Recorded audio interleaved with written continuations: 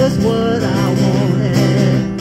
I got just what I wanted from the Lord. Oh, I got just what I wanted. I got just what I wanted. I got just what I wanted from the Lord. Jesus is what I wanted.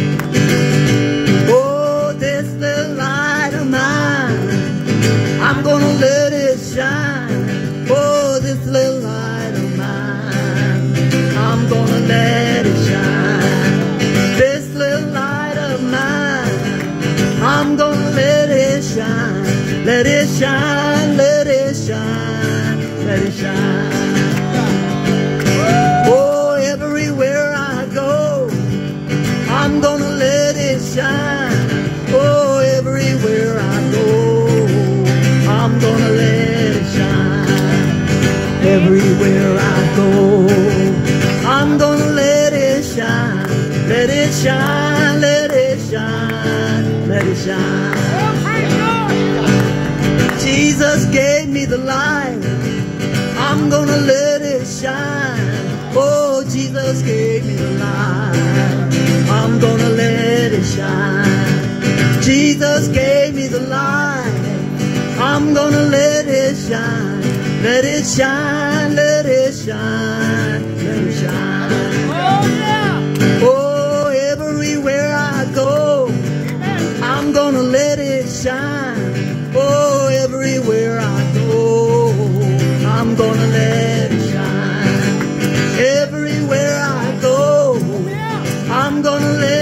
Shine. Let it shine, let it shine, let it shine. We'll hide it under a bushel, oh no. I'm gonna let it shine. Oh, hide it under a bushel, oh no. I'm gonna let it shine. Hide it under a bushel, oh no. I'm gonna let it shine. Let it shine, let it shine,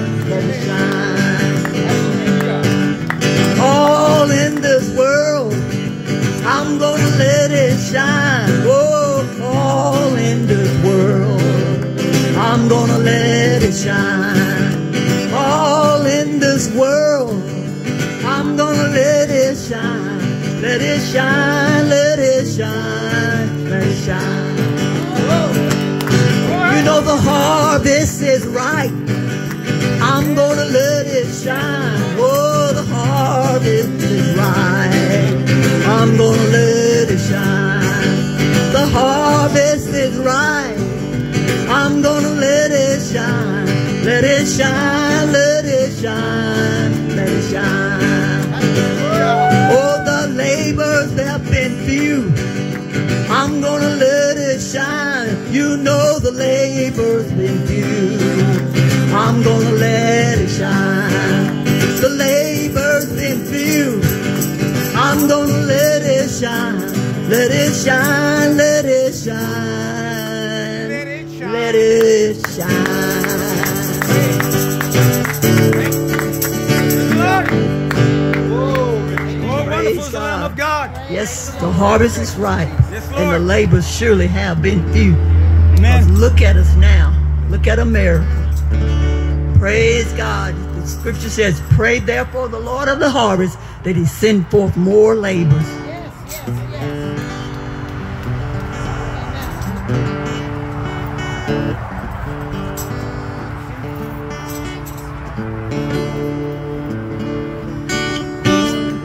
Oh,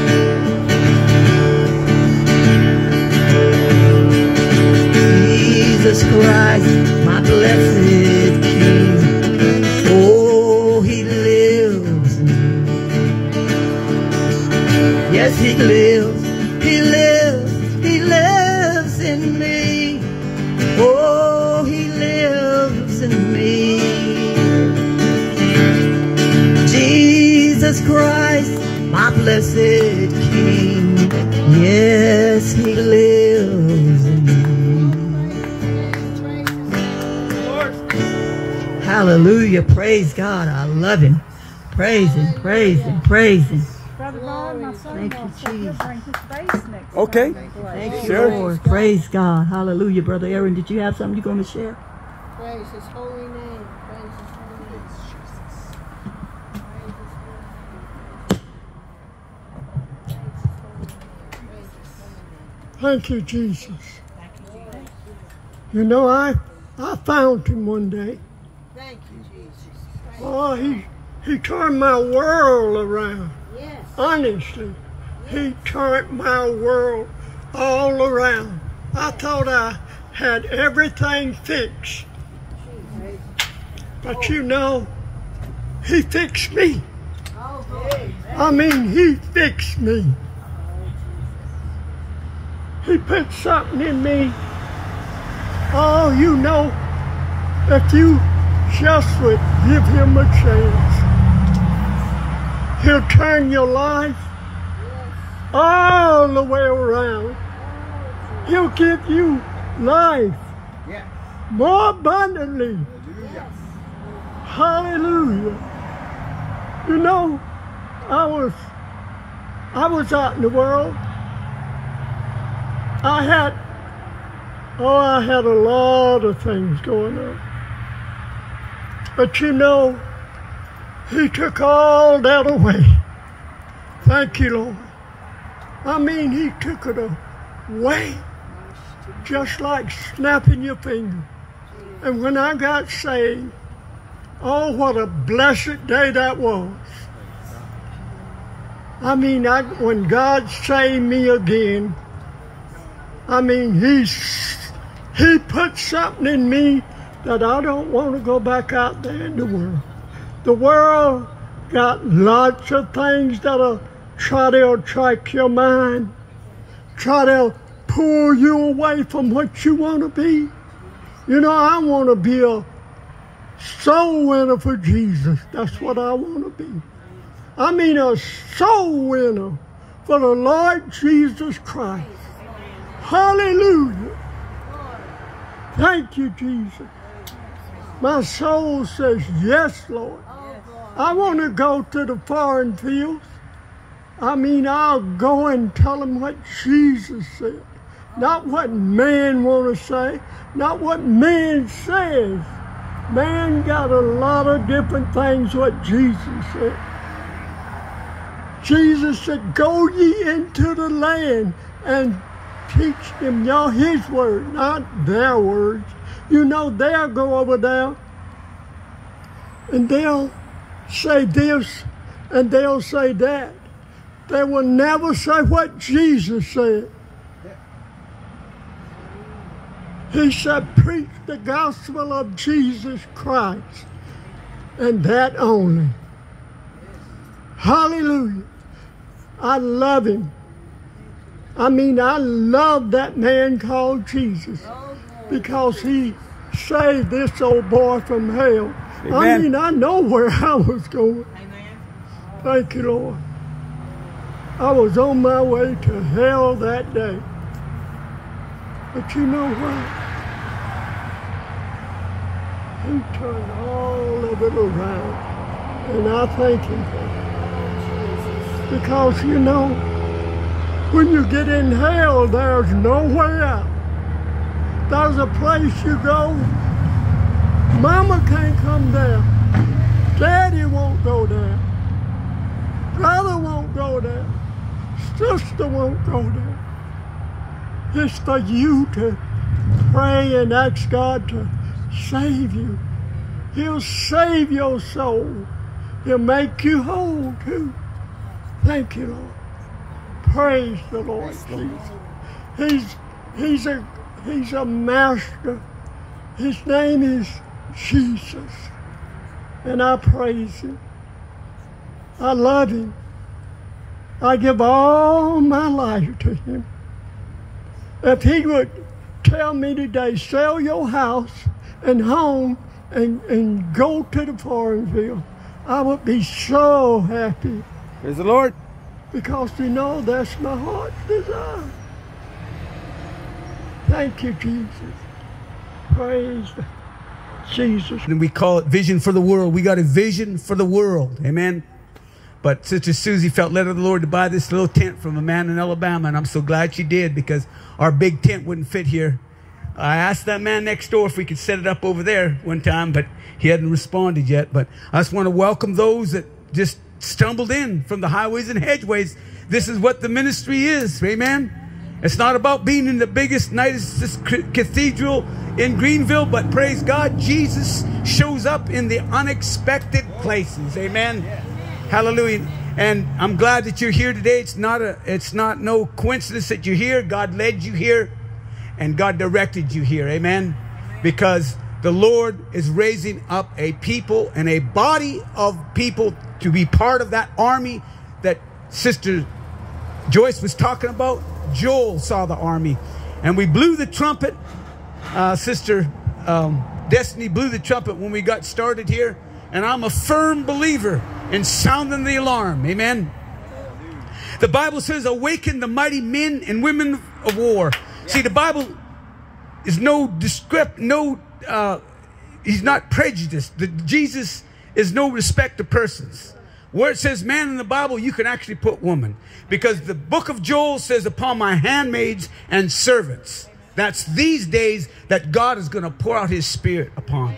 Amen. And right now, the Lord is shortage of workers in the field. Amen. It's a shortage. You know, we recently come back from Philippines and uh, I was privileged to work out there in that mission field for the Lord for one full month. I didn't want to go for two weeks because it's a long journey over there. It, it took us about three days to get there and about two, three days to get back. But I am so happy that the Lord used us in his service over there.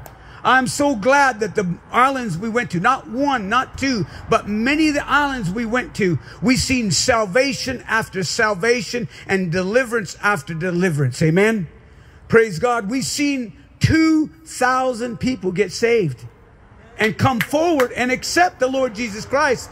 I'm talking about the Lord didn't let us rest one bit. We didn't have a big backing over there, but as soon as we got to the Philippines, the Lord gave us two interpreters and then later a third interpreter to be with us. And uh, the meetings just fell into line. It was just unreal how well everything went and coordination, how it went. Amen. We went from prison to prison. We went from jail to jail.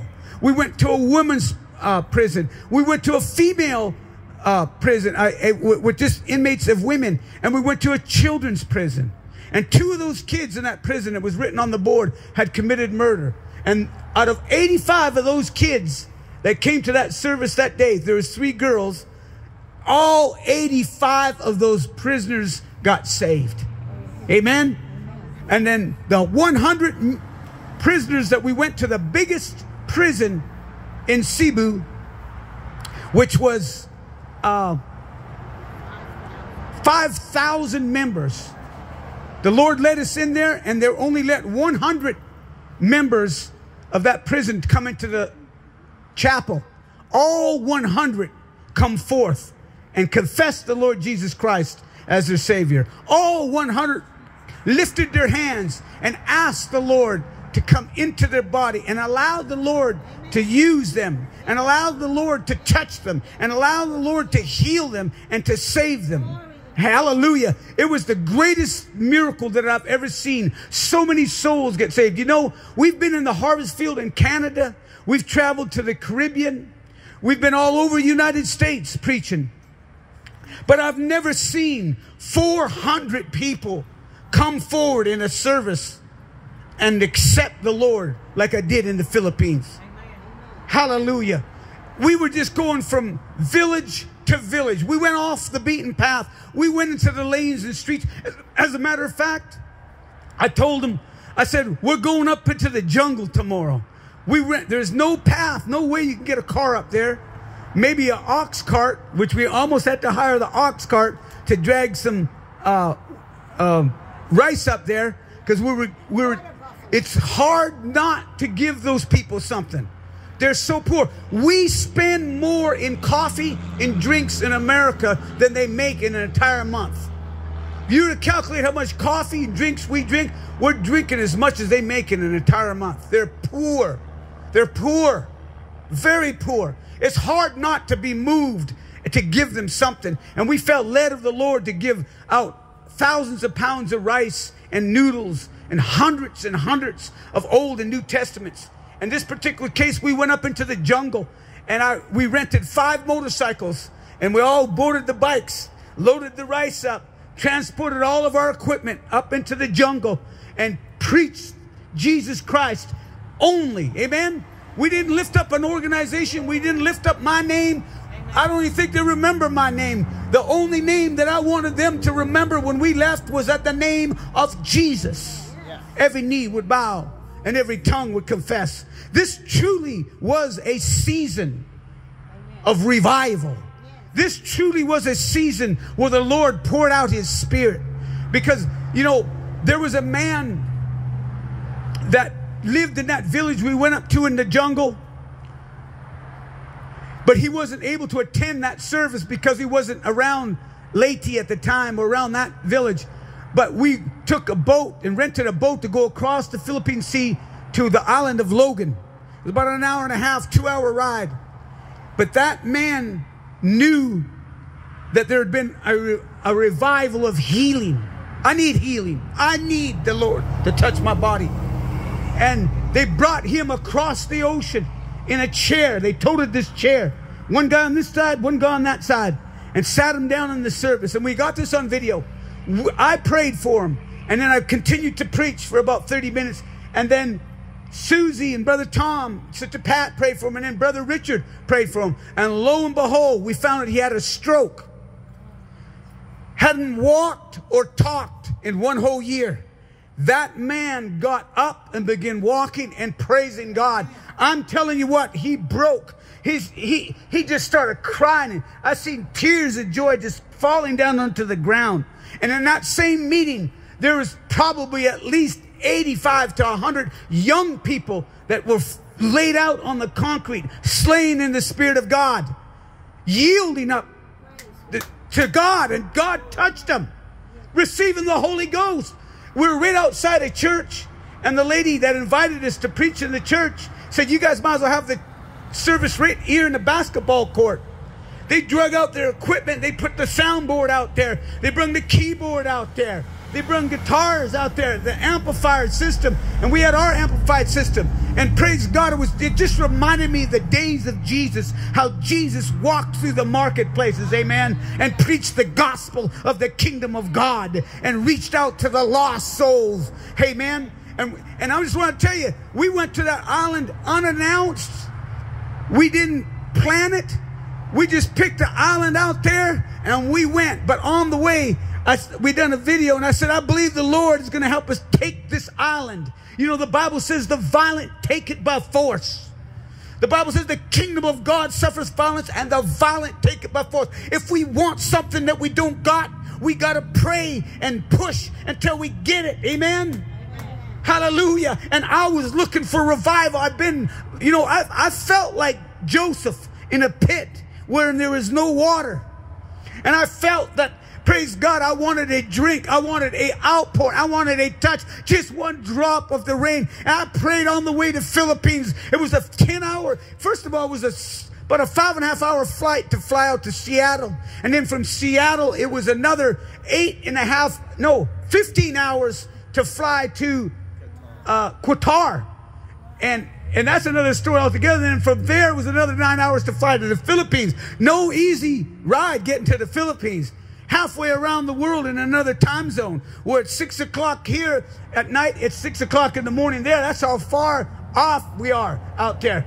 But I picked that little country of Qatar, which is you know, out there by the Persian Gulf, and there's no preaching Jesus there. It's all Muslim there. It's illegal to preach Jesus. It's a death sentence to preach Jesus. But praise God, the, the immigration, they let us into that, that city of Qatar and we found our way to the park. And before we did, we prayed and we said, God, if you don't want us in the Middle East, if you don't want us here preaching the gospel, if you don't want us here to be a witness, then you stop us right here at the immigration. But that immigration officer, he couldn't say no to us, sister. He absolutely could. He was looking at our passports. And I said, We're traveling as a group. I didn't know if he thought we were missionaries or what we were, Americans. You know, I'm a Canadian and an American. My son's a Canadian and American. But praise God, finally he made these weird faces, looked up at me, looked at the passport. He said, All right, you guys can go then. Because they wanted a certain uh, layover time, but we we done got to the point of about six hours, all we had in that country. But as soon as we got in that country, a Filipino man walked up to us and said, God sent me to help you. Where do you guys want to go? And then a, God sent this black guy to us. And he said the same thing. He seen the guitars and he said, I love music. Where are you guys going? He said, I'm on board. And next thing you know, we had a little entourage going into a country where it's illegal to preach Jesus, or worse yet, they can probably persecute you and cut your head off. No evangelism of Jesus allowed there. But we went to the park. Anyways, praise God. And Sister Pat was bold to sing.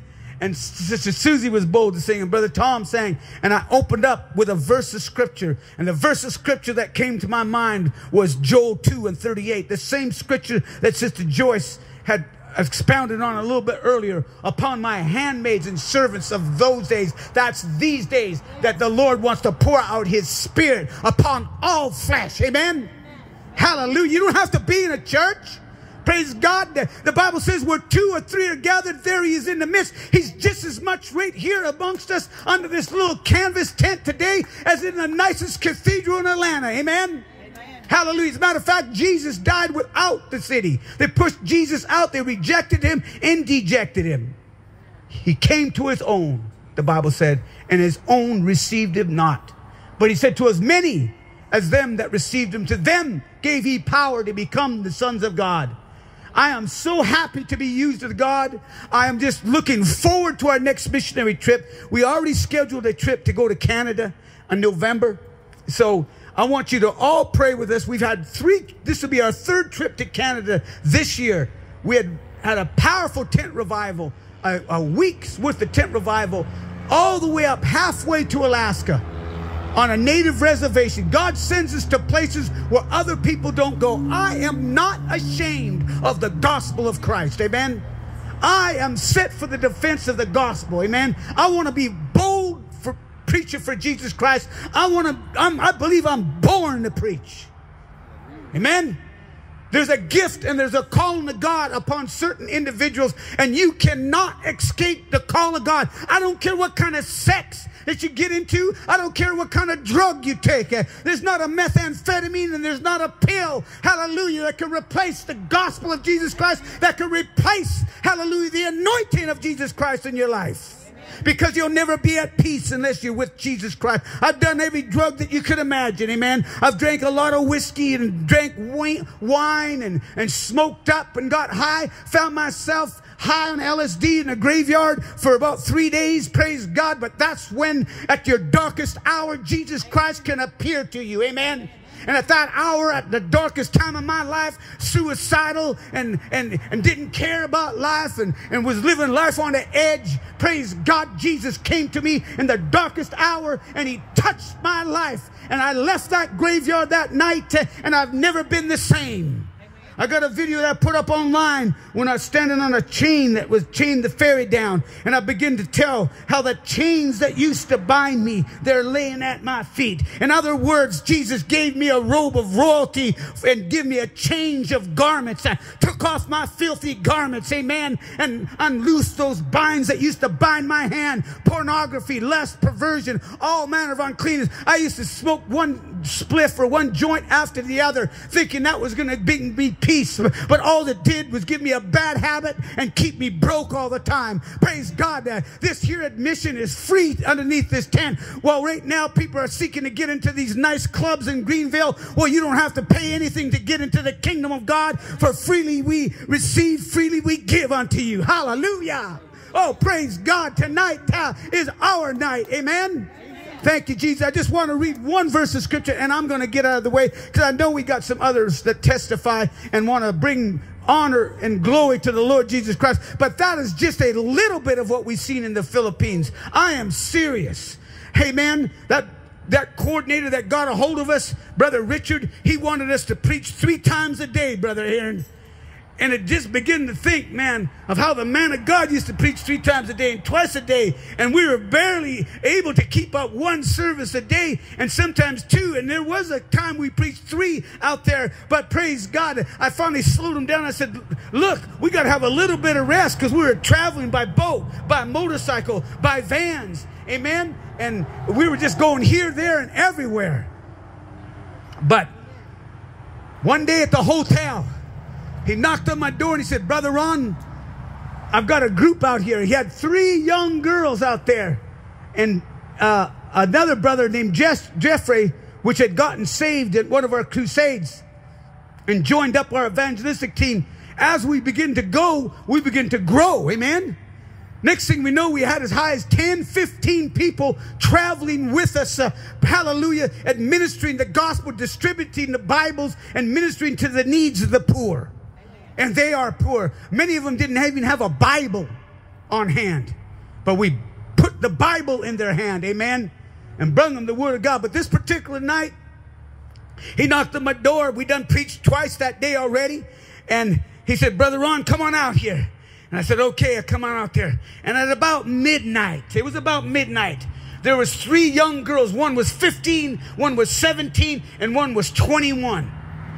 Praise God.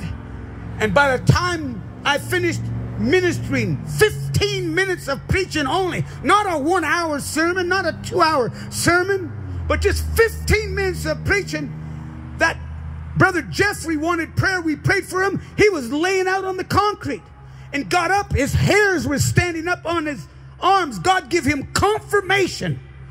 And we prayed for each and every one of those girls, those three girls. They all confessed the Lord Jesus Christ as their Savior and give their heart to Jesus Christ and ask the Lord to heal them and touch them right now. And God did. And they were laying out on the ground right there. Amen. Because the Bible says, many are the slain of the Lord. See, the first man, Adam, was a living soul, but the second man, Adam, was a quickening spirit. So I believe God's spirit can quicken you. Amen. I believe God's spirit can prompt you. Amen. I believe God's spirit can awaken you in the night and cause you to seek him and reach out after him. And this is the season, like the sister's saying. You know, Jesus, he said, Think not that I've not come to destroy the law of the prophets. I'm not come to destroy, but to fulfill. Jesus kept many of the Jewish customs and many of the feasts Jesus went to. He said, I've not come to destroy, but I've come to fulfill. And I truly believe that we are in a season of revival. Amen. I believe that we are in a time where God wants to touch us and heal us. Amen. I believe that the Lord wants to pour out his spirit upon us You know, we seek for a city whose builder and maker is God, but I'm seeking for some clouds with rain in them. Amen. I'm tired, hallelujah, of being thirsty. I'm tired of being hungry. I'm tired, hallelujah, of going out empty handed and coming back empty handed. But this is the time the Bible says, uh, if he that goeth forth and beareth precious seed, hallelujah, weepeth and rejoicing shall no doubt come bringing his sheaves with him. Hallelujah. We're not going to come back empty handed because Jesus said, if you preach the word and be instant in season and a true witness delivers souls. I want to just read this scripture. This is Proverbs 16 and 15. In the light of the king's countenance is life, and in his favor is the cloud of the latter rain. How many know that Joel talked about a latter rain? How many know that we've received the former rain? And yes, I'm not saying that we haven't been in revivals before, but how many know that Jesus has saved the best for the last? Hallelujah. How many know, hallelujah, that many are called but few are chosen? So Jesus wants us to give us a good glass of that new wine. Hallelujah. Praise God. Because he said right here, and I'm going to get out the way, he said, the glory of this latter house shall be greater than the former, says the Lord of hosts. And in this place I will give peace. Hallelujah. So that is a prophecy from one of the prophets in the Bible. And I believe in the prophetic word of God. I, I do believe in the evangelists and the pastors, but I got to tell you, if you believe in an evangelist and a pastor, you also have to believe in the apostle and the prophets. Amen? Because it's a fivefold ministry and it's the foundation of the prophets and the apostles, Jesus Christ himself being the chief cornerstone that we are built upon.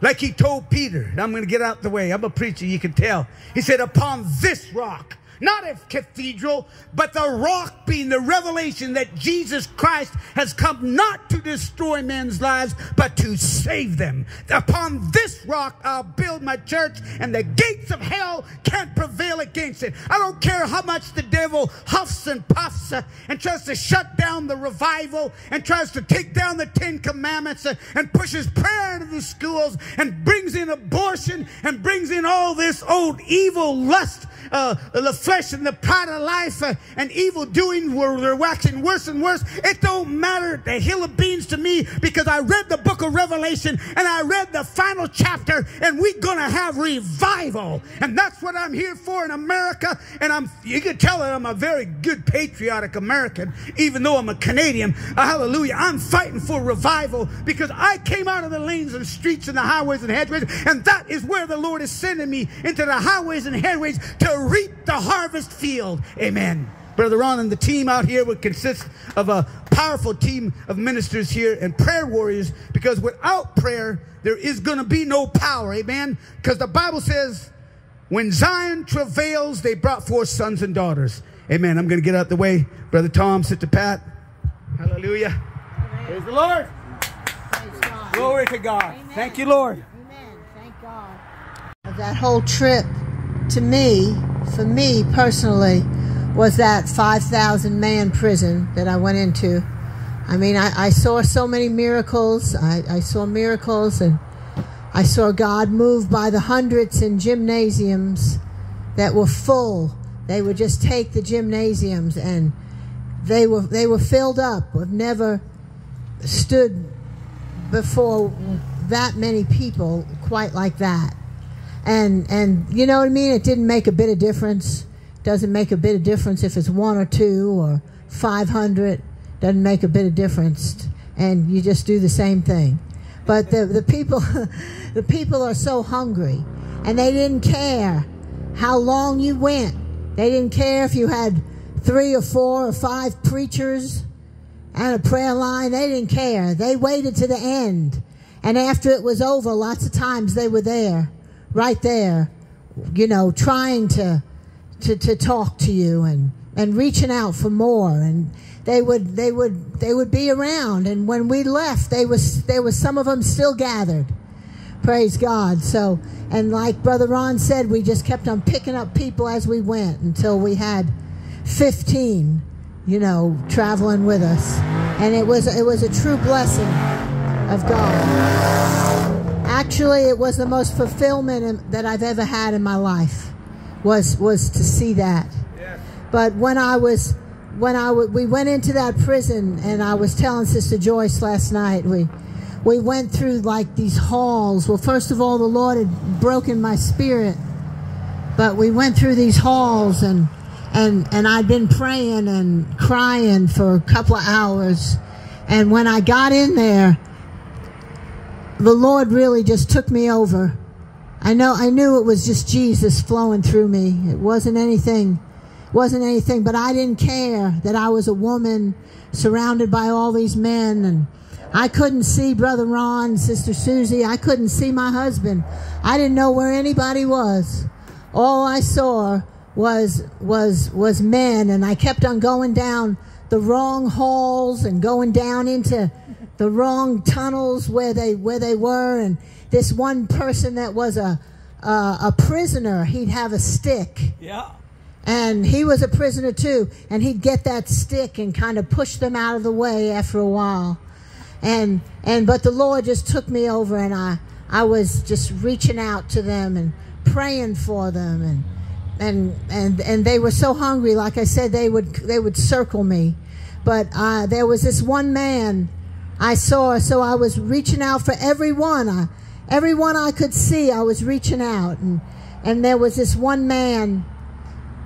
He was he was there was all these men standing up and there was this one man. He was down on the ground. And when i looked at him his eyes were all black. Both of his eyes were black.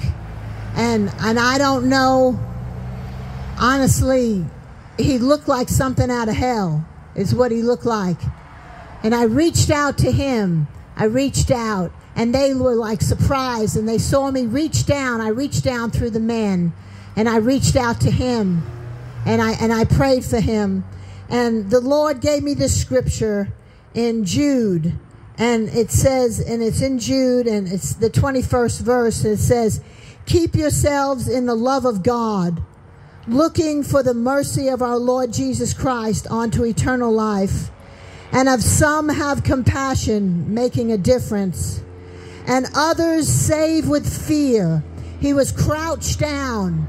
He was crouched down, brothers and sisters, like he was like he was hiding. But but and others save with fear, pulling them out of the fire, hating even the garments spotted by the flesh.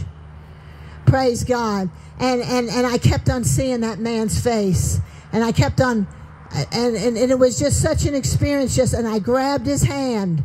I grabbed his hand i started praying for him and i felt like i was right there pulling him out of the fire that he had right then he had one foot going down to hell.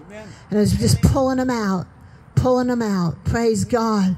Praise god. And when i when i got it finally made my way up in and the men with the sticks uh, you know leading me when I finally made my way into the room. As soon as I got into the room, I just started praying for people. Just laying hands and, and praying for people. I just felt such a love. And to me, from my own personal experience, that was the highlight of my whole trip was to feel Jesus take me over like that. And I remember, even though we saw we did see miracles every night. Like the brother was saying we'd have we'd have prayer line. People would come up to the front. Hundreds of people would receive miracles. We, we'd all pray. And and many of the miracles were demonstrated. We saw people you know dancing but there was one night and and and there was a man that came up to me in one of the gymnasiums. So there was hundreds of people. And he came up to me and I testified about it in the prison. And he went like this with his heart, like this. And he stood there. And, and many times when I would pray for people, I'd lay my hands on their heart. And I'd pray that Jesus would give them a true experience because I love the miracles. I love that. I mean, I love that. The Bible says to go into all the world and preach the gospel to every creature. And he said that you shall lay hands on the sick and they shall be delivered. But more than anything, what I long to see is lives changed, is people's hearts transformed, is the is the the stony heart being taken out of a person and give them a heart that would serve the Lord and give them a heart that would just love the Lord. And so I would lay my hands lots of times. And there was a brother traveling with us, a Filipino brother. He really did have a gift of miracles. You know, and I know God brings the, the body of the body of Christ together, and we all have different places in the body of Christ. But I would pray a lot for people's hearts, and I'd pray for their mind, and I'd pray just just for their bodies also. But this man, when he came up to me, hitting his heart like this, and and he said to me, he said, he said, all this is good, and he was so sincere and broken, and and all this is good. He said, he said the singing is good, the preaching is good. He said the miracles, the healings, but he just looked at me and he said like this, and he kept on hitting his heart. And he said, But what God has done tonight in my heart, he said, What God did for me in my heart, Amen. he said, He said, that means more than anything. More than anything. And and what does the Bible say in 1 Corinthians 13? Though I speak with tongues as of men and angels and have not charity, it profiteth me nothing.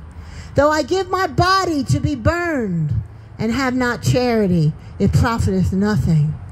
Shall not many say, Lord, Lord, and say, Have we not prophesied in thy name? Have we not had wonderful gifts? For the gifts and the calling of God are without repentance. Have we not done all, laid our hands on the sick? And what will the Lord say? Depart from me, all you workers of iniquity, for you do not know me. Because they lost that touch in their heart. So to see that meant everything to me. And one time I was in a, uh, the Lord had sent me up to New England with my daughter. She was doing her master's, and the Lord had me go. And if you've ever been up north like I have, and to, to, it's an evil place. It's such an evil place, Esther. It's such an evil place. It's so much more evil than it is even in the South. And in the South, we're, we're blinded. But when you go up north, you find towns and cities that are totally given over to witchcraft. And the same thing in Canada. It's even worse. It seems like the further up north you go, the worse it is. Praise God. But in Vermont, I, I would walk down and I'd pray for the little town of Montpelier, which is the capital of the city, the, state, the capital of the state. And I'd pray for this city that was given over with to witchcraft. All you can feel was deadness. They just didn't know the Lord. And you know, there's a lot of there's a lot of Hindus and Muslims and uh, you see people, they say, well, I was raised Catholic, but basically they know nothing. That's all they know is, and they say, well, I don't, I don't know, I don't know. I thought maybe if you sprinkle some water on me when I'm a baby, and you, uh, they get the last rites, that I can just live like that, like the devil, all my life. But if they sprinkle a little water on me, now I know Jesus went to the thief on the cross. He did. But how do we know that we'll have that opportunity that the thief on the cross did?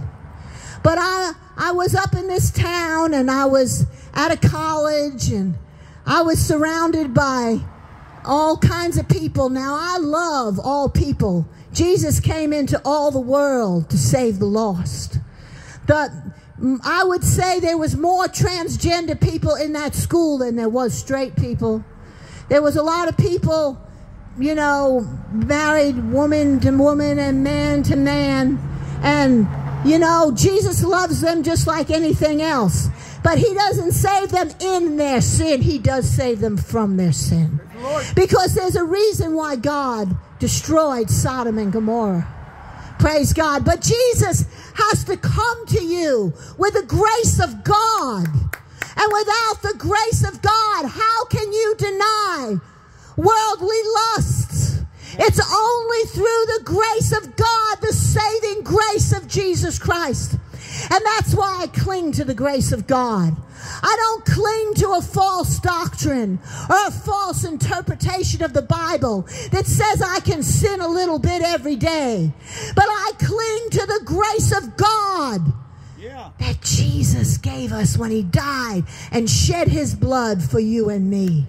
But I was in that little town and there was a talent show. And I'm not a very good musician. You might say, and a very good singer. You might say I'm like the third string. Praise God. When they put the football teams in, you know you got to be winning to get to the third string. That's me. But do everything as unto the Lord. Praise God. Thank you, Jesus. But I felt led to get into this talent show. And I called up my sister, I called up my husband, and I said, Y'all have to pray for me. My daughter told me, she said, she said, Mom, don't you dare. You know, there's all her friends. And that was about 500 people in, in that talent show now. I'm talking about not in it, but in the audience. So actually, I have been in front of some crowd. Uh, a crowd that was probably the biggest crowd, one of the biggest crowds. One time, God anointed me in a Wesleyan church, and I stood up in there. You remember that? There was a couple hundred people packed in there. So the Lord has had a way of getting hold of me. Really, it doesn't matter. I've known Esther all my life. She's seen me all my life. If the Holy Ghost would fall on me, it did not matter where I was or what I was doing or why I was there because I didn't put confidence in my flesh. I put confidence in the grace of God that was bestowed upon me when I was first saved. Praise God. So I before I finish the story about Vermont, I'm going to tell you how I was first saved. I was first saved when I was in when I was in college myself. And there was a little Jewish girl that had had an experience with the Lord. And I was raised Catholic. Um, my mother's Catholic. I was raised Catholic. Was went to con- con- communion, confirmation, and it was such a blessing because most of the people in the Philippines are Catholic. So I was able to communicate to them on thing on matters that I knew of firsthand. And and they were hungry. Catholics are hungry for God. Man, they're hungry. They're, they there's there's more Catholics. I believe there's more Muslims, they say, in the world. But besides Muslim, there's a lot of Catholics. And that's why I'm glad God, I was raised Catholic and God picked me up. Hallelujah. Because when he reached down for me, he had to reach way down. And he picked my, me up and he set my feet upon a solid rock. Praise. Praise God, but I really didn't know anything about the Lord. All I knew was I wasn't allowed to say the name of Jesus. That's the way it was in the in the 70s when I was saved where I lived. And I went to mass every Sunday. I went to confession. I ate my fish. I, I followed the ordinances to a certain extent of the, the Catholic of the Catholic Church. But besides from that, I lived like the devil every day of my life. And I met this little Jewish girl, and she first told me about Jesus. And she told me in a way I had never heard in my life. And and she kept on inviting me to go to this little Bible study in the basement of a house. And and I said, "Well, you know, if Jesus drank wine, you tell me he did, then I can smoke pot, and, and that's what I want to ask them." And um, she said, "Well, I don't care what you say. Just come on. and so I did. And when I walked in there, you know what I did? I walked in there and there was a whole room full of them. And they didn't say a word to me. And I walked in there and I said, I have a question for you.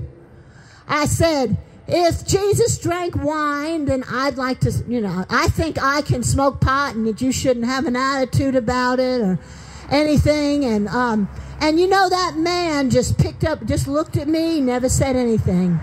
He smiled. He picked up the guitar and started playing Amazing Grace. It's the first time I ever heard Amazing Grace in my life. And when I heard Amazing Grace, the Spirit of the Lord, I know it was the angel of the Lord. I know it was the angel of Jesus Christ. I know it was the Spirit of the Lord that came over me. And I don't know how long I was there. I don't know if I was there for, I must have been there for a couple of hours because when I came out of it, everybody was leaving and congratulating me. And all I knew is that I felt like, uh, you know, if you know the color spectrum, this is the way I've described it many times. White is at one end and black is at the other. And they're both common. And they're, they're both colors. You know, they're both they're both colors. But white, the color white, is different from the color black. And that's what the devil is. He's the prince in the power of the air. He's the prince of darkness. And Jesus has come to bring us into his glorious light.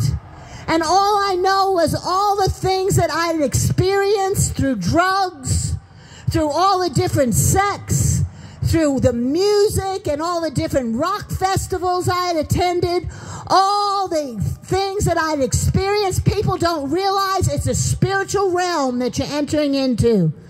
And all I know is that it was common in that it was a spiritual realm, but it was totally different. You see, God is a supernatural God. This world is what's make believe. This world, we're just pilgrims and strangers. We're just passing through. But eternal life is what's real. Amen. It's something tangible. It's something that everybody, it doesn't matter who you are. You will stand before the judgment seat of God. It is appointed unto you once to die, and after this, the judgment. Therefore, when that big video camera comes down, this word, we're going to be judged for the words that we hear in our life. We're going to be judged. So judgment begins first at the house of God. Amen. And if the Christians scarcely be saved, then where can the ungodly and the unrighteous appear? Praise God. But I had a real experience that night in that little Bible study. I had a true experience with God, but I had no idea what had happened to me. All I knew was something strange. And I just, I walked out of there and I said, well, I'm done with that. Uh, I'm going to make believe that never happened. Uh, I don't even know what happened. I don't want to ever see that girl again that took me to that weird place. Everybody congratulating me. Nobody ever told me that I was supposed to be saved. Nobody ever told me I was raised Catholic. Nobody ever told me Jesus was coming back in the clouds of glory. I didn't know anything. I had never held a Bible in my hand. I guess that's one of the reasons why I can't hardly get the Bible out of my hand. Amen. I like my little Bible because I can hold it right in my hand. And even if I don't read the word, I just like to hold it in my hand. And sometimes when I'm preaching in the street corner, I might just shake it at them like that because, because the word of God is powerful to the dividing asunder of soul and spirit and joint and marrow. It pierces. Hallelujah. Praise God. Well, it was six months I ran from God, but the angel of the Lord chased me. He chased me down. I got into trans, then I got into transcendental meditation. Guys began to study karate, began to get into yoga, just began to do all just totally into all kinds of things. Anything to try to make me forget what had happened. I couldn't even go out in the daytime. I didn't want to go out until the night. I couldn't stand to look at the sky because I knew Jesus was coming back. It was so real to me. My eyes and my understanding were opened. And that little girl had given me the Bible. And any time I did decide to open it and glance at it, it was like those words would just jump out and convict me. I'd throw it down. Just one verse. One verse. And I'd run from it. So I had a real experience with Jesus. And one day when I was coming back from the dojo, a force of the devil, really, tried to take my steering wheel of my car and, and was pulling it. And time was all turned around and suspended. And I, and a voice spoke to me and said, you are a chosen vessel. You have no choice but to serve the Lord. If you don't give your life to the Lord, the devil is going to come and kill you and take your soul to hell before you have a chance to surrender to the Lord. And right then, in that state of mind that the Lord allowed me to be in, I said, Lord, I'll serve you. I just felt it. I knew. I had no other choice but to serve the Lord. I wasn't going to that hell because I knew that was real. As much as I felt that spirit of the Lord upon me, I knew hell was real. And my whole life I've been scared of hell. Ever since I was a little girl, I've had a fear of, of, of, of hell. One time, a young man, before that experience happened in New York in the Bible study, a young man tried to pick me up on the college campus. And just like he, you know, he'd give pass me a little blunt and he'd say, uh, do you believe in God?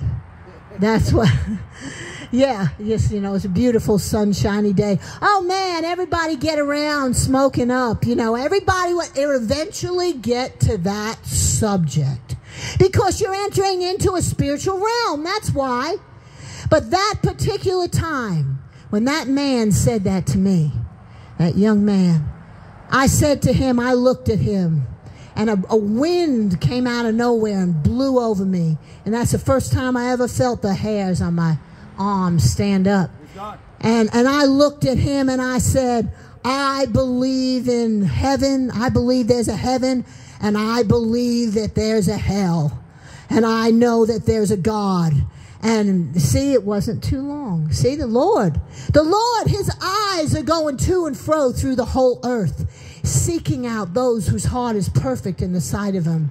Well, did I seem like a perfect person? No, I was very imperfect. But, but God saw something in my heart. I think he saw that fear in me. That's what he saw because Jesus grew in the fear of God. You know, the fear of God is a good fear. We need to get a hold to the fear of God. The fear of God is the beginning of wisdom. We need to quit running around playing games with the with the world and with the devil. We need to get scared of God and of eternal life. Glory. Praise God. But so that's when I went to the Philippines. That kind of experience is why I hunger for a changing experience. But that night back in Vermont, this was just a couple of years ago, I, I went to that talent show and I started playing the song. And when I started playing the song, the, cl- the glory cloud just filled that whole place. This was nothing I did. It was nothing I did. My daughter Miriam told me, she said, Mom, she said, that voice that came out of you was not your voice. She said, I never heard you play the guitar or sing like that ever. And, and I just, and I was just reaching out to the Lord. And, and, and all I did was sing that song. That's all I did. And it was Creator, create in me something to glorify thee. Amen. And I told them, all I said to them with the words was, I said, the breath of God, the breath of creation is in you. That's why you want to create things. That's why people want to make art and music and writing all these things. And this was a place of writers. And at the end of this thing, people came up to me. They were all crying.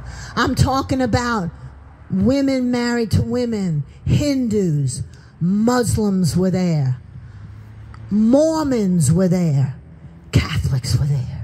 Every kind of person you can imagine. They came up to me crying and whole, then there was two or three more days that I was there. And they kept on coming to me. They'd come to me in the cafeteria. There was a Hindu woman that cried on my shoulder. She had a mark in her head. And she cried on my shoulder and she told me, she said, when you started singing that song, she said, you know, I'd been very sad because my mother had passed away. She said, but when you started singing that song, whatever it was, she said, I couldn't stop crying. She said, in that grief that I had, I, I, it wasn't there anymore. For some reason, there was something there that was taking it away. Praise God. And, and the, the Mormon people congrat- coming up to me. Oh, I got to witness to a Muslim woman. Just beautiful. Started talking to her about Jesus. Because about about the, the church world that has really run from God.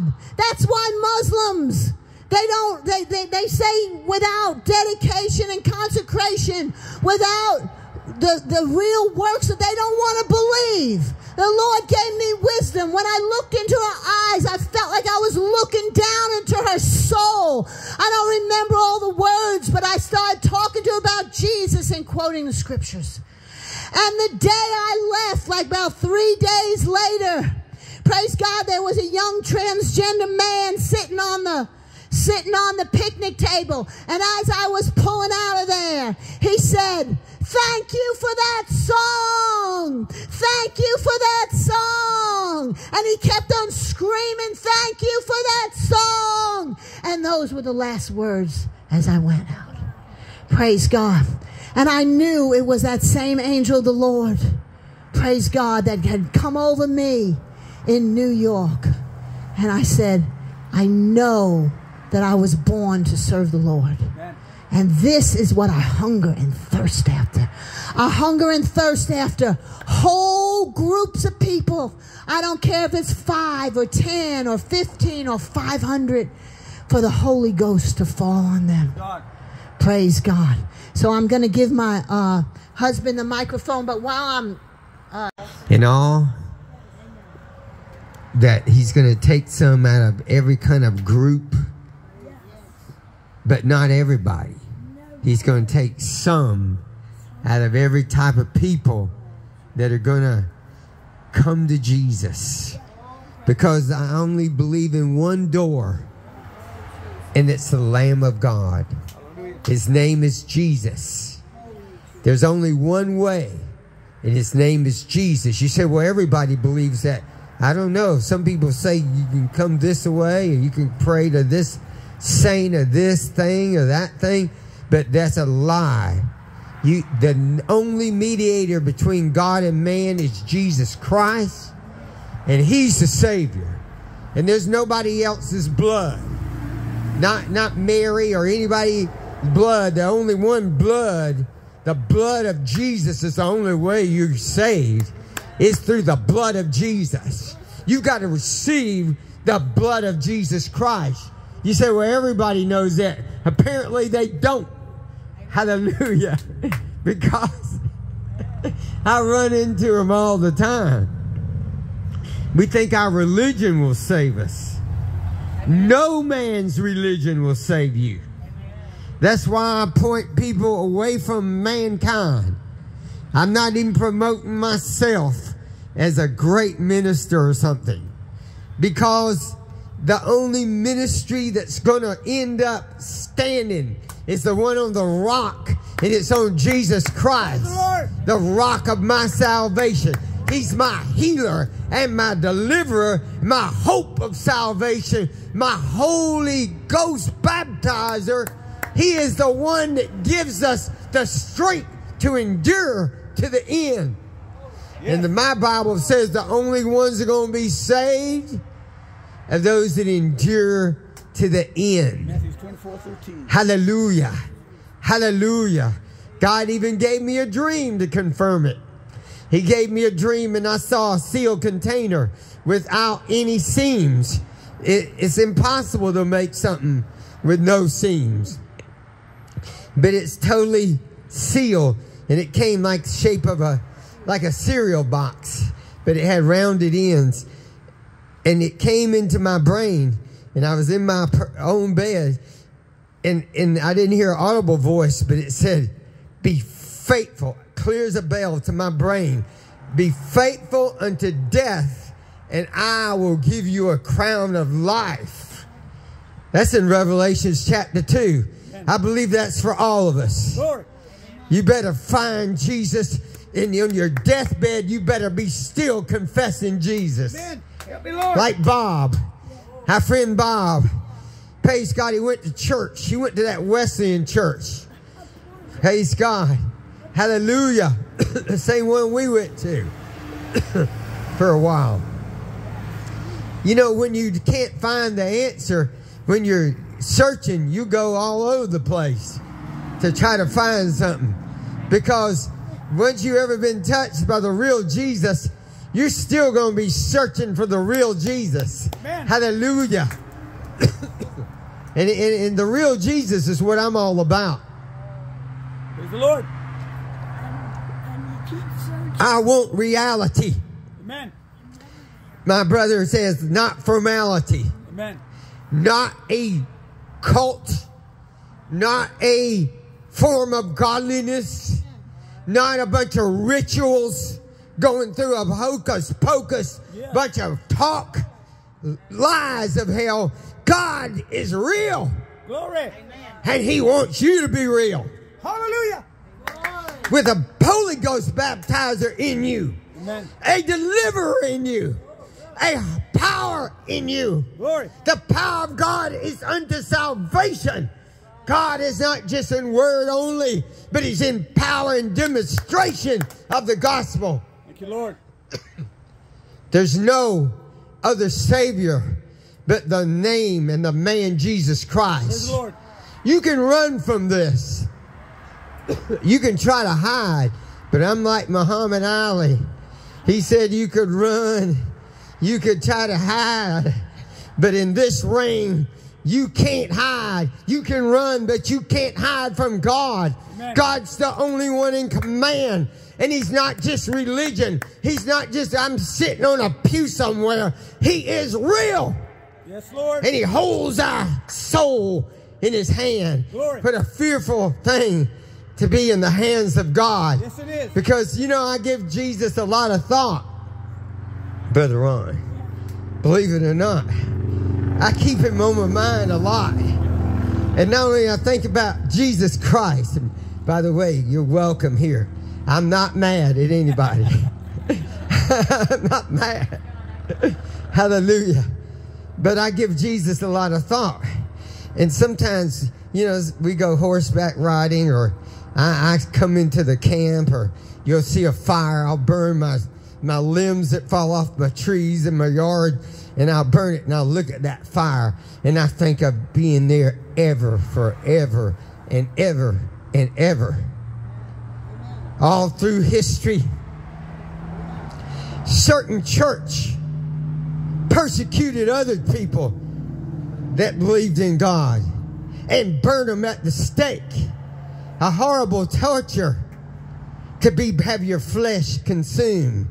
And I think about these things. I thought about what if I'm in that fire and my skin is being shriveled up and my nerves are being burnt. it's a horrible thing. But ha- that only lasts for a certain time.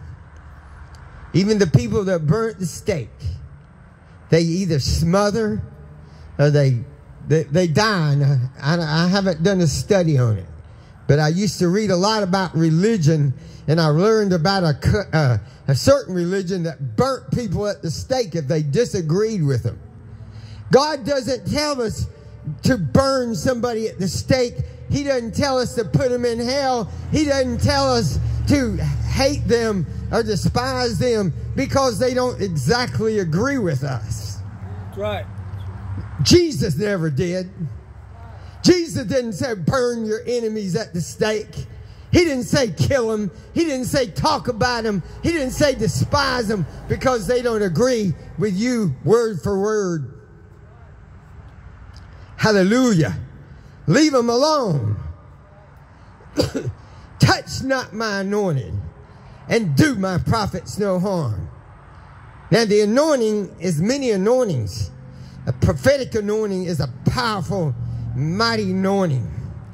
A real prophet like Jeremiah, people like that. But God anoints his handmaids and his servants Yeah, with a certain anointing. Glory. That's why I'm afraid to touch a lot of people. I don't want to think bad.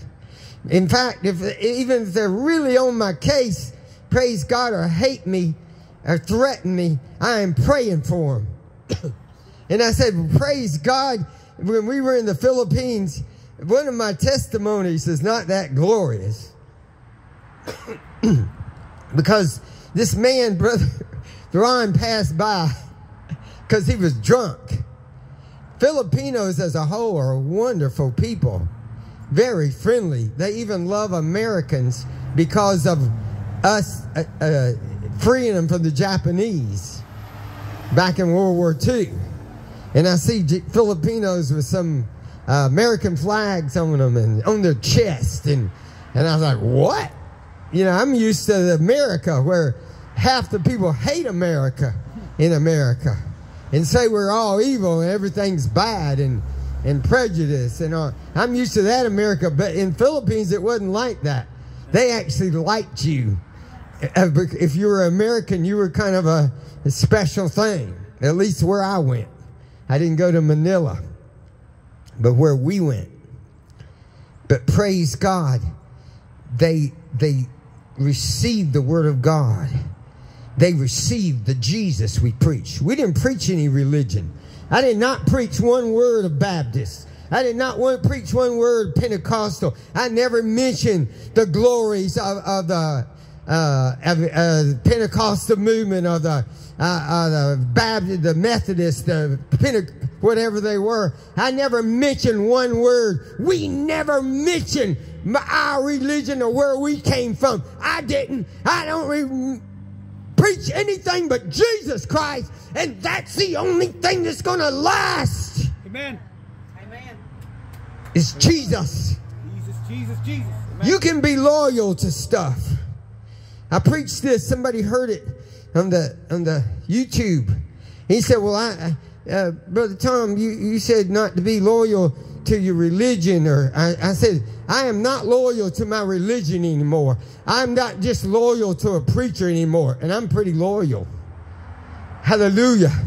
I'm not going to just be loyal to this or that, but I want to be loyal to my Savior Jesus Christ Glory. Forever and forever so that I'll reign with him and I'll be with him.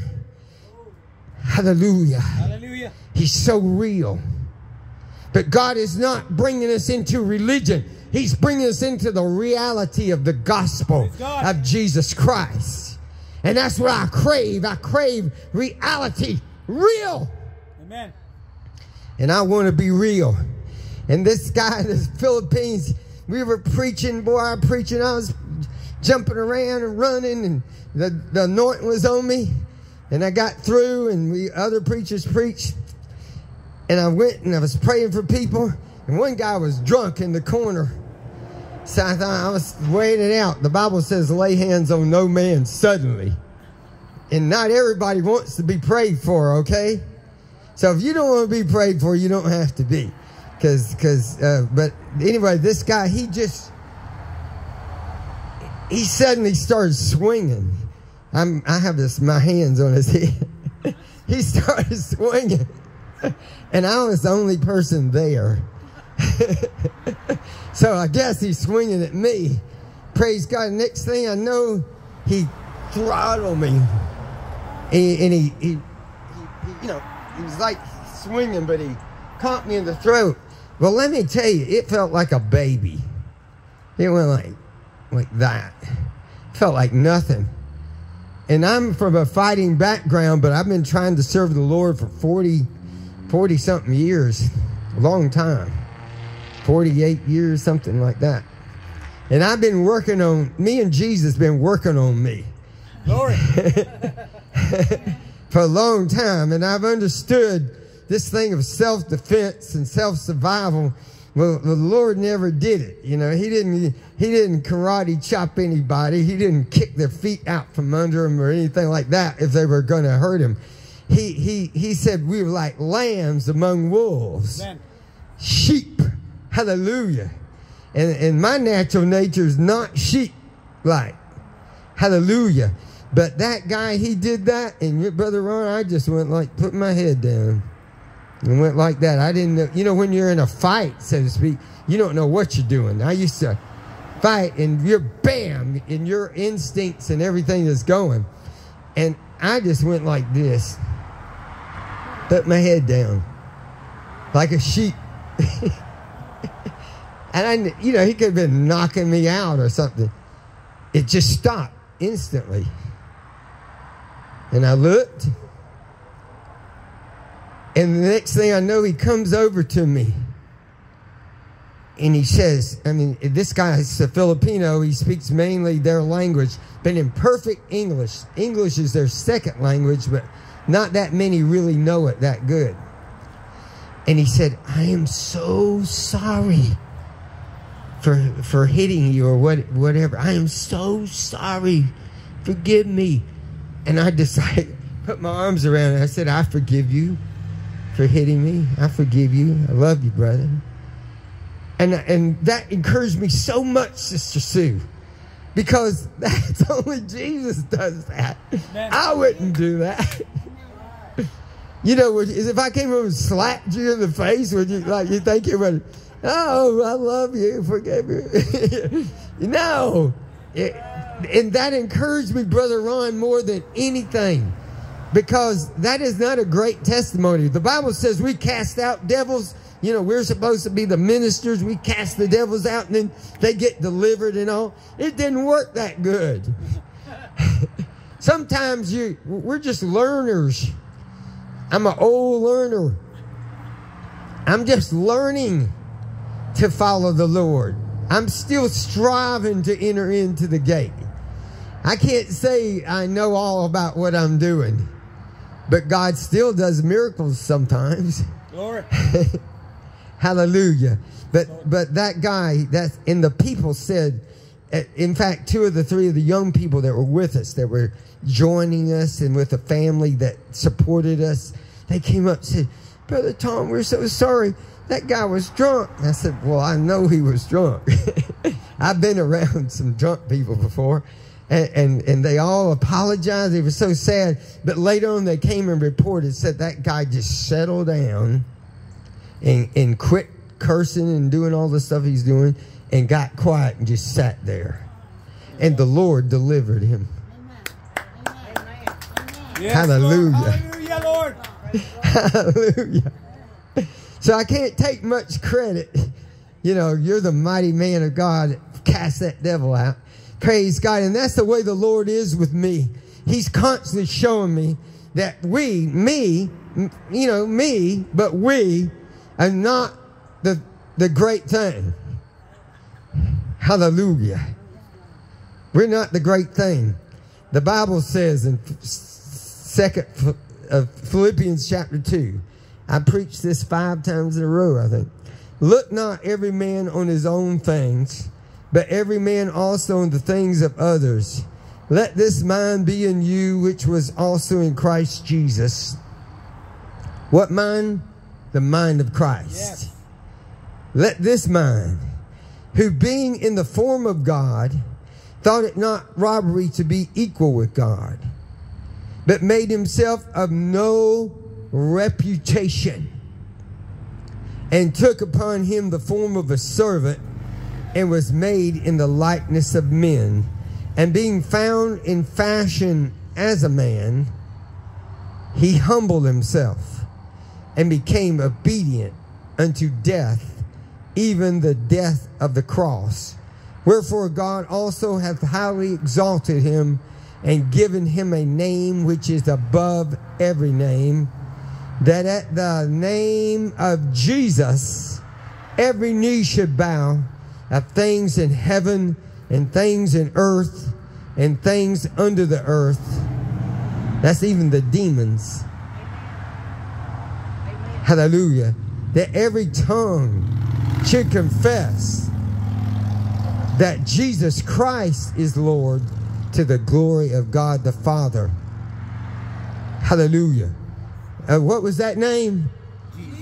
Jesus. Jesus. Wherefore, my beloved, as ye have always obeyed, not as in my presence only, but now much more in my absence, work out your own salvation with fear and trembling. Praise God. Your own salvation. You work out your own salvation.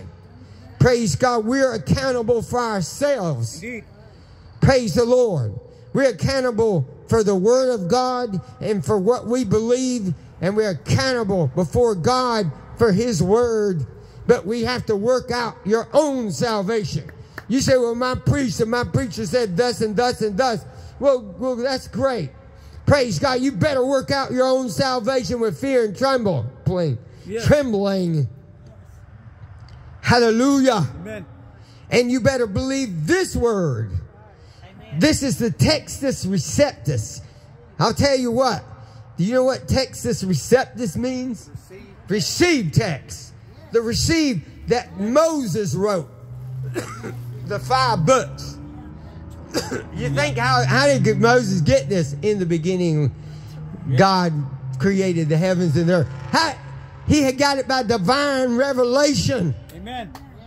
The Bible was written by divine revelation. And then there were the judges. And then there was the kings and the chronicles and the and the prophets. Praise God. Every one of those prophets prophesied about Jesus coming, the Messiah coming. Hallelujah. The whole universe is created around the fact that Jesus Christ comes to the earth, is come, is come, is come now, is come in the past, is come now, is now in the earth, in the future. Jesus, Jesus, Jesus. Praise God. He is the King of glory. Oh, He is the power of God into salvation. Glory to God. The only way you're going to see God is in the face of Jesus Christ. Indeed. There's only one God, Amen. one faith, One one baptism. Indeed, brother. Hallelujah. Glory. Jesus. He's the King. Hallelujah. But He came, and I've told this, I keep saying the same thing. He came to seek and He sought no reputation. You know, God through Christ created the universe. Amen. You say, who's our creator? God, Jesus. Through God, through Christ, Amen. created all things. Amen. Hallelujah. Hallelujah. Lord. Praise Jesus. And now we are the creation of God. We are to manifest Christ. This pew warming stuff is over with. Amen, brother. Just just sitting down and listening. You're a disciple of Jesus Christ. Amen. You're a disciple. You're called to be a disciple means a follower of Jesus. A follower of the word. He was the word made flesh. In the beginning was the Word, and the Word was with God, and the Word was God. The same was in the beginning with God. All things were made by Him, and without Him was not anything made. Amen. He was the light and the life of God. He was the light of Christ. The light of Jesus is the life. He was the light of life. That life that was in Christ was God. Yes, it was. Amen. It's God, brothers. Amen. God was in Christ reconciling the world into himself. Amen. Hallelujah. Praise God. Praise God. Retain this in your knowledge. Amen. There's no other way. Amen. And when I read my Bible, it says there's some tough things to follow in the Lord. He said, You will be persecuted. Indeed. He said, You will be hated of all nations. So this thing of being popular is over with. Glory to God. This thing of being accepted by your own brethren who also believe in the Lord, but they don't, somehow they just don't get all of it. Come on, brother. Hallelujah. I am not the judge of all this. But all I know is that the more I stick with the scriptures, the less friends and buddies I have. Yeah. The more I go by the word, that the less people surround me or ever pat me on the back. In fact, Brother Ron, I don't have anybody patting me on the back for following Jesus. When I went to my men, we, me and Brother Ron own businesses. I went to my men that had kept my business running and not only supported them because I'm concerned about them. I want them to make a living when we go gallivanting all over the world as we're beginning to. Because God said, go ye into all the world. Glory. Hallelujah. I've been waiting. I'm 74 in a few days, and I've been waiting Praise God. to go into the world. I've been waiting by going somewhere, but I haven't been that far, and there's a world out there to be saved. Amen. Somebody's going to have to do this job. Somebody out there or here. I want to be one of them. Amen. The Lord prophesied through a gentleman many decades ago and said, You were the one of the one young men that's going to preach this gospel in the end time. Well, I ain't young anymore. Praise God, but I'm ready. I'm ready to do it. Hallelujah. I'm going. I'm going. You, can't get rid of me. Quit trying to scrape me off. I am not, you're not getting rid of me. I'm going. I got no other place to go to. I've been there, done that. Praise God, I've been there and done a few things, and I've messed up too, and I've failed, and I've fallen in my, on my face for trying to follow the Lord, and I've been self righteous. I've been holier than thou. I, I made every mistake. Praise God, I've stumbled and fell, but God has given me strength in my old age to serve the Lord. praise God, brother. Come on. He's given us strength in our old age to serve Jesus. Yeah, Lord. There's no other way. If I- If I could find some other way, I probably would because naturally we're cowards. We do not want to face the enemy. Amen. You know, to go into a natural battle of any kind, any era. I always think of that sword hacking era. To go into battle and all those arrows and swords and now missiles and guns and tanks and, and, and everything. going to battle, you got to be kind of crazy. You get your legs shot off. You get your ears shot off. Your your skull, your your your bodies could be just torn to shreds. I've seen soldiers. I know soldiers missing legs.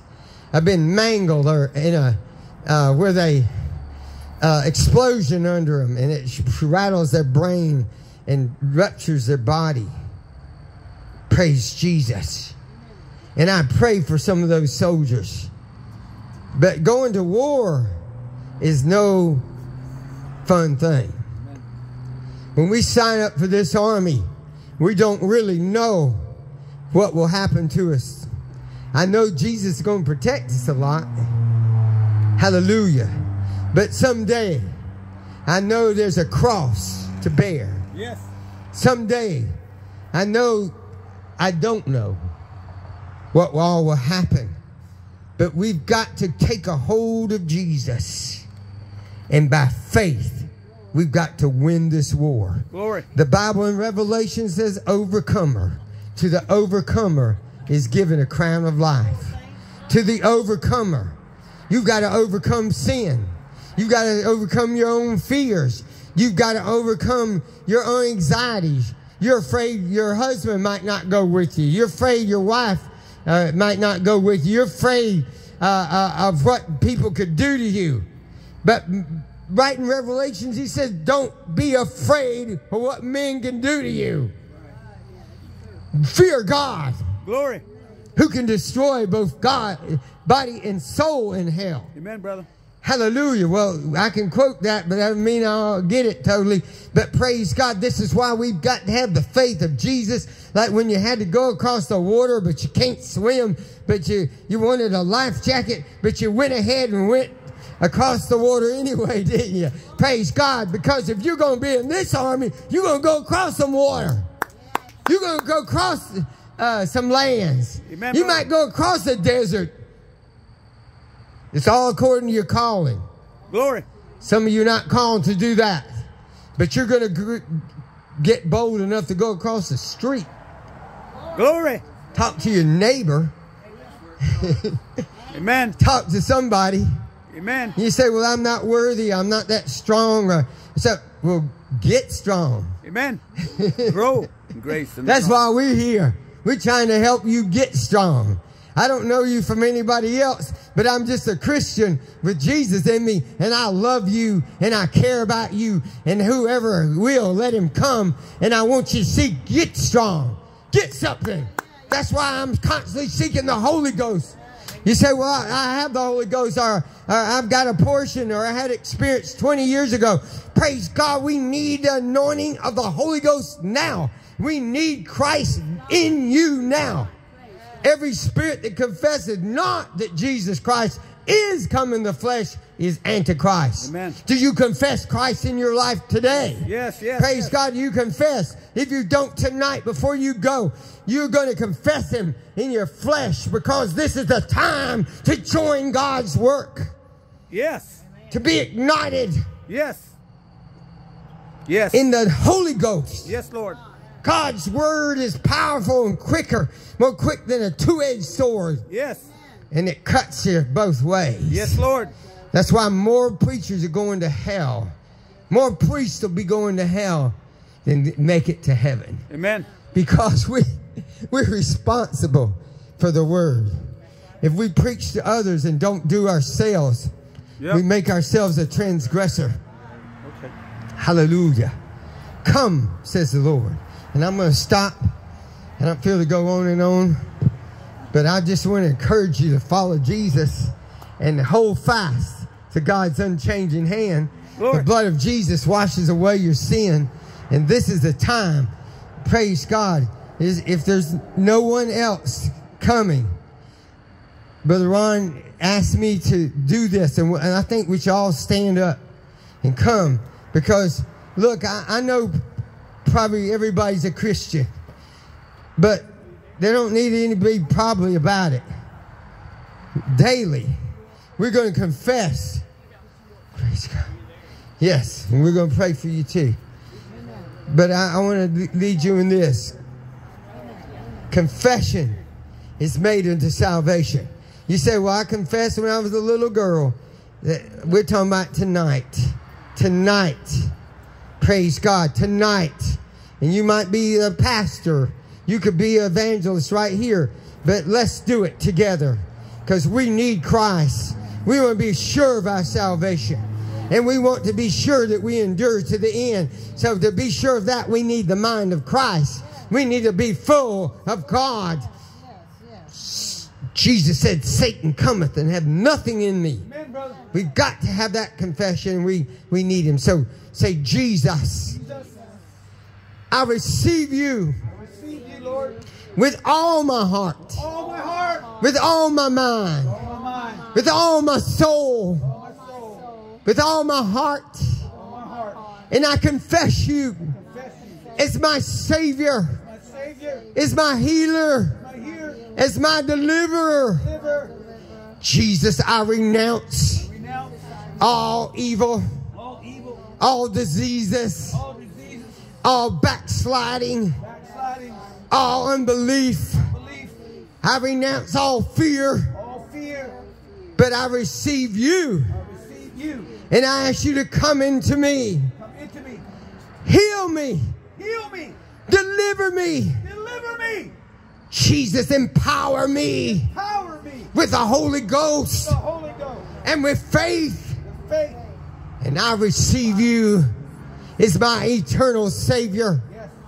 both tonight Tonight. and forevermore. Hallelujah. Praise Jesus. I'm going to pray for you.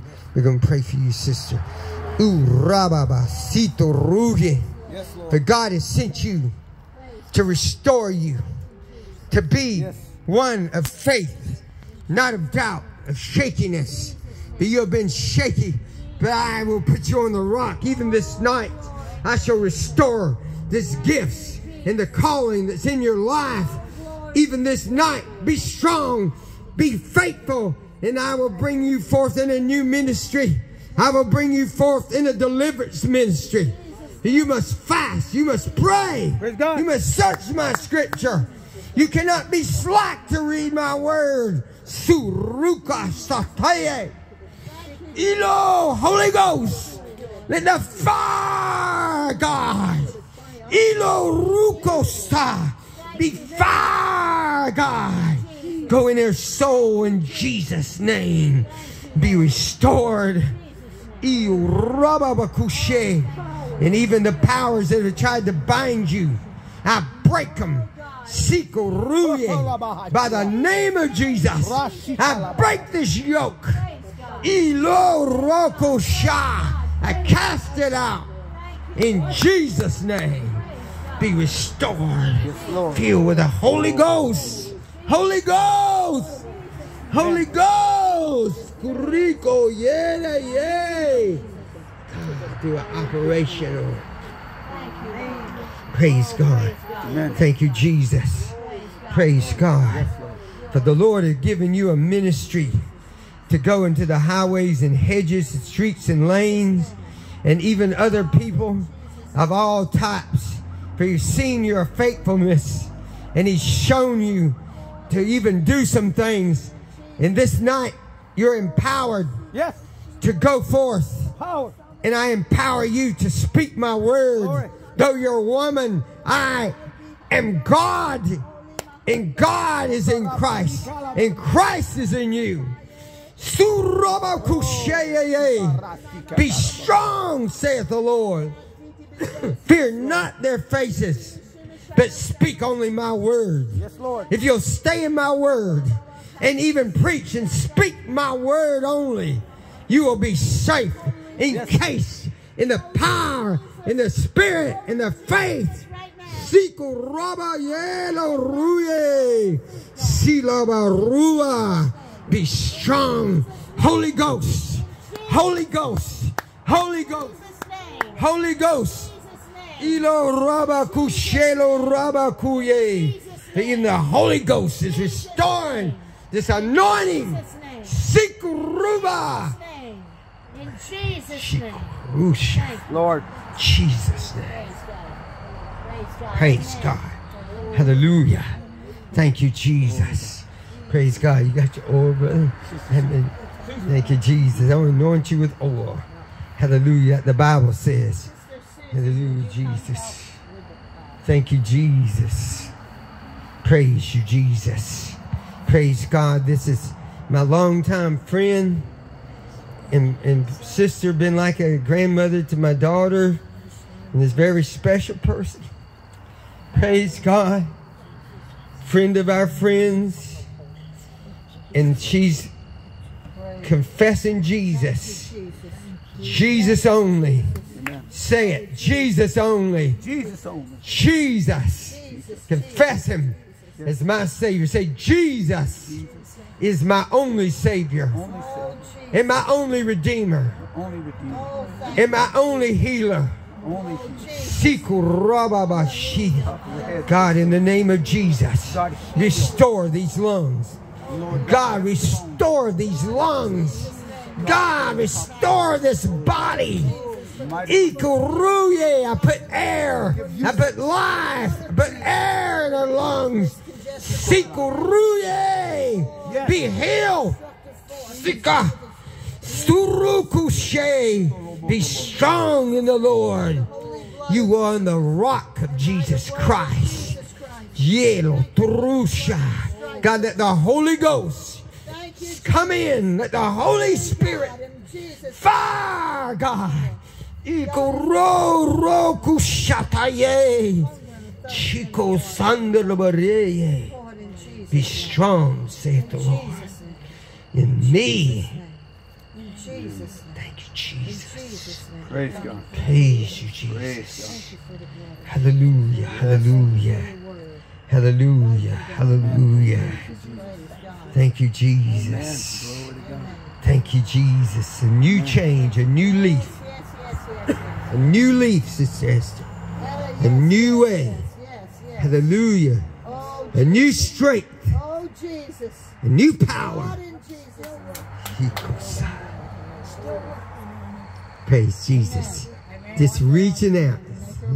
See, Jesus is the one. Jesus is the one. Hallelujah. Praise Jesus. Praise Jesus. Hallelujah. Praise God. We're all on a journey, Sister Esther. But I know if y'all can't, you know, that there was people in the Bible that people just prayed Send the word, yes. just by believing. And um, so I believe and um, it's just and Do that back in the old days. Stand there proxy. Brother Ron, I feel like you should be praying. Sister. Thank you, Jesus. Praise Yeah, it God. meant to be. I Yes. meant to be trusted. I feel like we Lord, should all we pray. A special miracle. You, God, for this one that's had the stroke, we sent the word of the Lord, like you sent the word to the centurion servant. We send the word of healing. Restore youthful energy, Lord God. You said where two or three are gathered. God, we're prayer warriors here. We're believers here, God. And we rebuke the devourer. You said, prove me now. We drive Satan back. We curse the forces of evil. And Lord God, we ask you, God, to restore and give a miracle. In the mighty name of Jesus, you said, ask and you shall receive. In Jesus' name. Amen. Praise God. I felt that. Thank you. Hallelujah. Thank. Praise God. Touch the hem of his garment. Yes. Amen. I'll just say the closing prayer, but whilst we're in the group here, um, I had a prayer request. I invited the brother to the tent here. I was in the big, the Pickens uh, flea market uh, many, many mo- uh, months or two ago, and I, I mean, seen this guy ministering with songs, and I invited him to the tent, and the devil just jumped on him. Man, he's had three major operations, and and he's on the verge of uh, basically the devil's trying to take him out. And I said tonight when I get to church, I said we're going to gather up in a circle and we're going to pray for him too. So his name is Tommy, and he lives not far from here. God, we send the word of the Lord to Tommy, this minister of God's word, this beautiful musician. God, we ask you to raise him up, give him a few more good years, Lord. He said he's had three operations. He might have to have another operation. Gangrene set in, God. God, the devil jumped on him, but Lord, we bind the forces of evil. You said what we bind on earth is bound in heaven. What we loose on earth, we loose in heaven. We loose these infirmities of the flesh. God, and we send healing to his body, resurrect him in the newness of life in the mighty name of Jesus. Visit him this night with healing. Send your angel everywhere you got to do, Lord. God, we're just decreeing it and we're agreeing together in this little prayer group, God, and we're asking it to be done in your name that the Father may be glorified and the Son. Give all the glory and the honor to the name of Jesus. Amen. Praise God. If you guys want to stick around for a little bit more fellowship, you can. We got one more night tomorrow night, and Sunday night is our last night. Two more nights. Amen. And we welcome you back to the tent. Amen. Brother Ron and the team. God bless you.